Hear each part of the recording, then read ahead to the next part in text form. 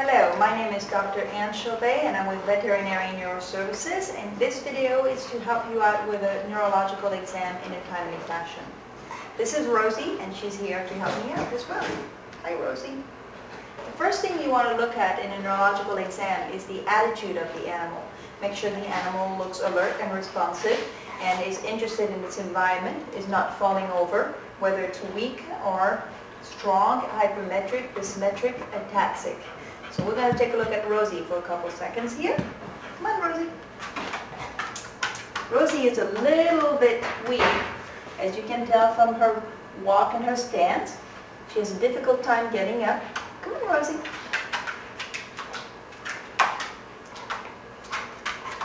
And I'm using a black mat to help her with her stability over the tie.